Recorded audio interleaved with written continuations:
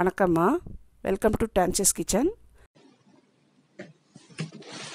ஆட்டு ஈரல் கொலை சுத்தம் பண்ணி எப்படி செய்யறதுன்னு பார்க்க போகிறோம் அது பாருங்கள் என்னென்ன பொருள்? இது மண் சுவரொட்டி இது ஈரல் இது மண்ணீரல் இது ஹார்ட் பகுதி. இதை எப்படி ஒரு ரெண்டு தடவை தண்ணியில் அலசி வச்சுருக்கேன். இப்போ எப்படி ஒன்று ஒன்றையாக எடுத்து க்ளீன் பண்ணுறதுன்னு பார்க்கலாம் இருங்க. வந்து ஒரு ஒரு பகுதியை தனித்தனியாக பிரிச்சுக்கோங்க. ஜவ்வு மாதிரி ஒட்டின்னு இருக்கும் அதெல்லாம் அந்த சதையெல்லாம் பிச்சு எடுத்துருங்க. இப்போ வந்து ஈரல் எடுத்துட்டோம். இப்போ சவரொட்டி எடுக்க போகிறோம் சதை மாதிரி ஒட்டின்னு இருக்கும் அந்த கறி அந்த எக்ஸ்ட்ரா கறியெல்லாம் பிச்சு எடுத்துருங்க. ஆ இதுதான் சவரொட்டி. பாருங்கள் ரொம்ப ரத்தத்துக்கெல்லாம் சுத்திகரிக்கும். ரத்தம் உடம்புல ஊறாதவங்களுக்குலாம் ரத்தம் ஊறும். ரத்தம் இல்லாதவங்களாம் சாப்பிட்டா ரொம்ப நல்லது. இது ஆட்டோட ஹார்ட் பகுதி.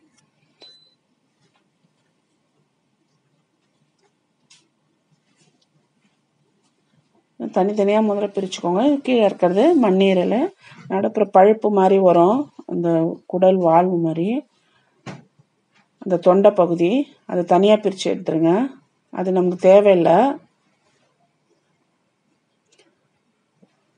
அது வந்து நல்லா டீப்பாக உள்ள வரைக்கும் வரும். அந்த ஃப்ளஷ் எடுத்துட்டு மிச்சம் அந்த பழுப்பு மாதிரி இருக்கிறத மட்டும் தனியாக பிரிச்சுடுங்க.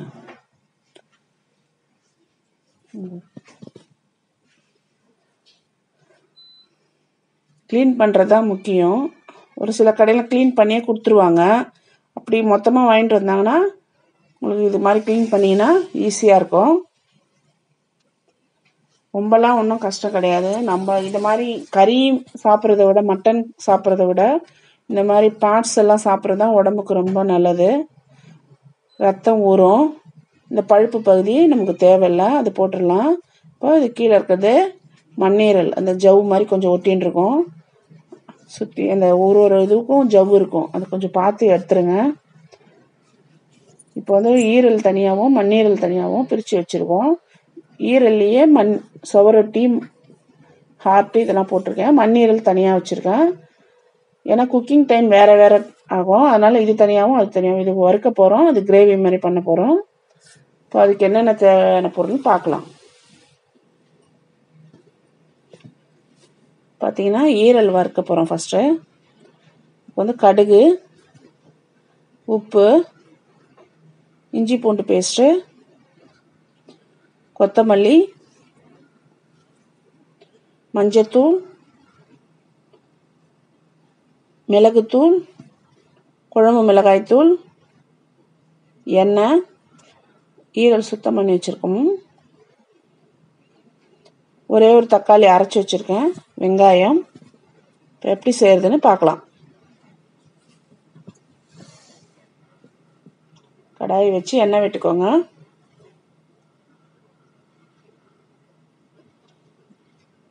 எண்ணெய் காஞ்சதும் கடுகு போடுங்க.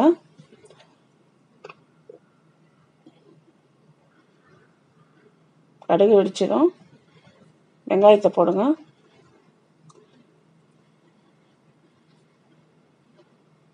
ஒரு ரெண்டு வெங்காயம் எடுத்திருக்கேன் நான். ரெண்டு வெங்காயம் கொஞ்சம் பெரிய வெங்காயம் எடுத்திருக்கேன். கிரேவி வரணும் இல்லைங்களா? அதுக்கு தகுந்த மாதிரி எடுத்துக்கோங்க. உங்களுக்கு ட்ரையாக வேணுன்னா இன்னும் கொஞ்சம் ட்ரையாக வேணால் வெங்காயம் கம்மி பண்ணிக்கோங்க. வெங்காயம் வதங்கிறதுக்கு உப்பு போடுங்க. சீக்கிரம் வதங்கும் வெங்காயம். நல்லா வெங்காயம் வதங்கினதுக்கப்புறம் மற்ற பொருளை சேர்த்தா தான் நல்லாயிருக்கும் எதுவுமே. பாருங்க பாதியாக வதங்கியிருக்கு. இப்போ இஞ்சி பூண்டு பேஸ்ட்டு சேர்த்துக்கலாம்.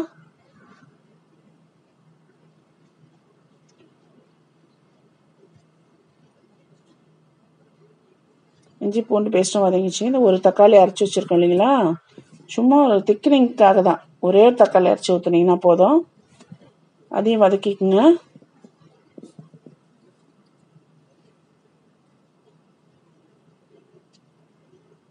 மஞ்சத்தூள் போட்டுக்கோங்க.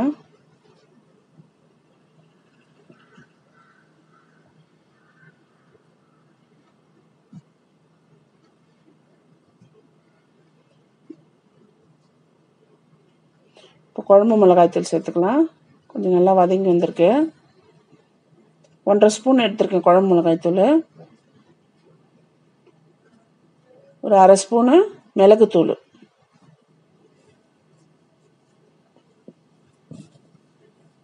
லாஸ்ட்டாக கொஞ்சம் போட்டுக்கலாம். அதனால் கொஞ்சம் எடுத்து வச்சுருக்கேன். எல்லாத்தையும் ஒன்று சேர்த்து வதக்கிக்குங்க. இப்போது ஈரல் மண்ணீரல் இந்த மாங்காய். மண்ணீரல் தனியாக தெரியணுன்றதுக்காக நீட் நீட்டமாக போட்டிருக்கேன். சாப்பிட்டா கர்ப்பிணிங்க ரத்தம் இல்லாதவங்க குழந்தை பெற்றவங்க இவங்களுக்கும் ரொம்ப நல்லது இதெல்லாம். நல்லா உடம்புல ரத்தம் ஊறும் சொல்லுவாங்க இதெல்லாம் சாப்பிட்டா. நமக்கு கொலஸ்ட்ரால்லாம் எதுவும் கிடையாது இது மாதிரி பொருளுங்கள்லாம் சாப்பிடும் போது ரொம்ப நல்லது உடம்புக்கு. கறியாக சாப்பிடும் போது கிடைக்கிறத விட இது மாதிரி சாப்பிடும்போது பெனிஃபிட் அதிகம் நமக்கு. இப்போ இருக்கிற பசங்களாம் சிக்கனு மட்டன் தான் சாப்பிட்றாங்க. அதை விட இதை மாதிரிலாம் சமைச்சு சாப்பிட்டு பாருங்க. ரொம்ப உடம்புக்கு நல்லது.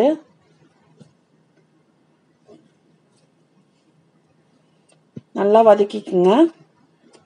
வதக்கிட்டு ஒரு ஒன்றரை டம்ளர் போல் தண்ணி விட்டுக்கோங்க.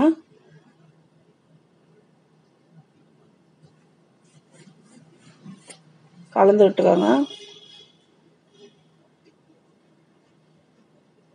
கடாயிலையும் செய்யலாம். ஒரு சிலருக்கு குக் வேக்காடு பத்தலை இன்னும் வேகணும்னு தோன்றவங்களுக்கு இதை தாளிச்சிட்டு குக்கர்லேயும் அப்படியே குக்கர்லேயே தாளிச்சிட்டு கூட ரெண்டு விசில் விட்டுவும் எடுக்கலாம். அன்றைக்கி கடாயிலே செய்கிறேன் ஒரு பத்து நிமிஷம் வெந்தால் போதும். வெந்துடும் ரெண்டு டம்ளர் தண்ணி இன்னும் கொஞ்சம் தண்ணி விட்டுக்கலாம்.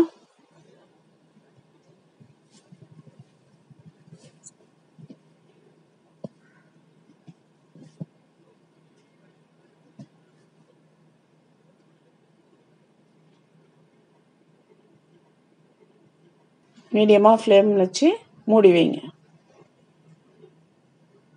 இன்னும் கொஞ்சம் வெந்து வந்து பாருங்கள் இன்னும் கொஞ்சம் சுண்டுட்டோம். இறக்கிடலாம்.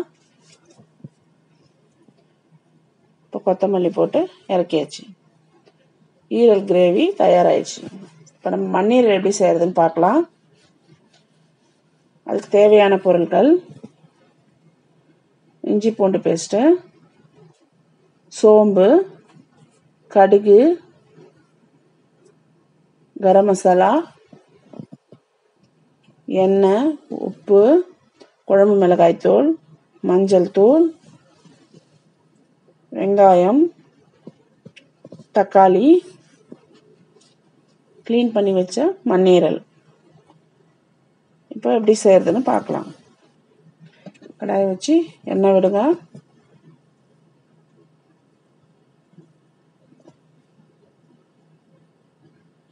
எண்ணெய் காஞ்சி தான் கடுகு போட்டுக்கோங்க.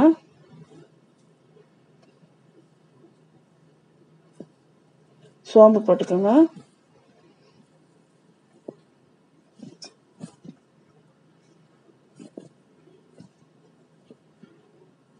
வெங்காயம் போட்டுக்கோங்க. வதங்கினதும். நல்லா பெரிய வெங்காயம் ஒரு வெங்காயம் எடுத்திருக்கேன். வெங்காயம் வதங்கிறதுக்கு உப்பு கொஞ்சம் சேர்த்துக்கோங்க.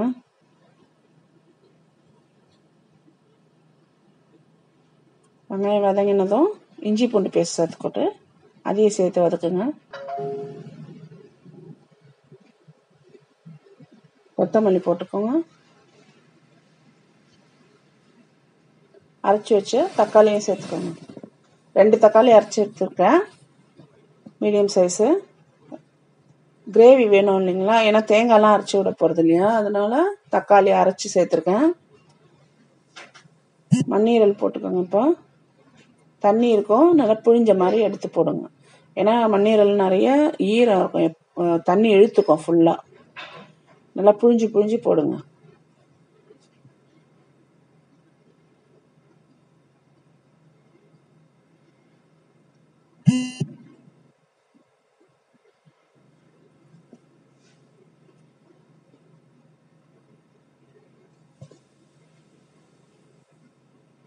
நல்லா எல்லாம் சேர்த்து வதக்குங்க மொத்தமாக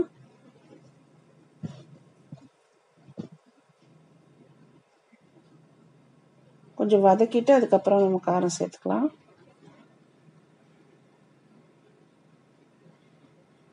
மஞ்சப்பொல்.